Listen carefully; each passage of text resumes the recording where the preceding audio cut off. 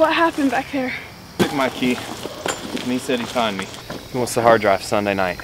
Well, why didn't you just give it to him? Because then he'd have all of us. I don't think he knows about you two yet. What about Frank? Do you think he's. I don't know. I told someone Frank needed help, and they called 911. We need to call the police. Not the police. We can't tell anyone. What? Why? Two of those guys wore cop clothes. What if they're police? No way. It's possible. Look, I know your dad was a cop and your brother's a cop and you want to be a cop. But what if they were dressed like cops because they are cops? What if we report it and the wrong cop hears about it? What's to stop him from coming and finding us and making sure we stay quiet? Well, one of them had a gun, right? What does that tell you? He's a dangerous criminal? Or he's a cop. So you're telling me I can't even trust my own brother? No, look, Ken's a good cop, but he's a rookie.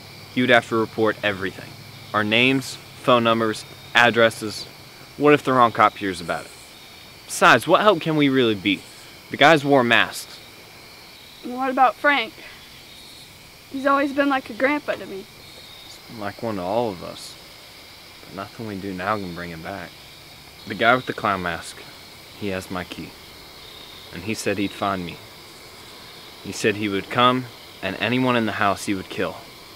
We need help. Protection. We need to keep our mouths closed. This is too big. Too dangerous. And what about the hard drive? We'll figure that out later. Right now, we have to be together on this.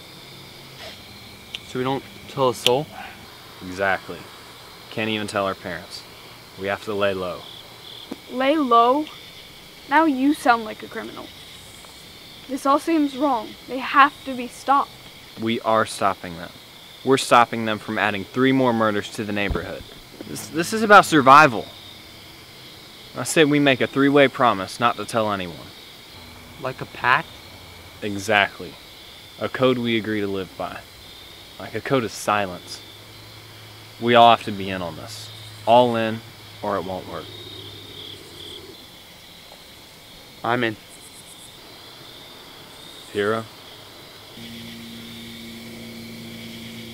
And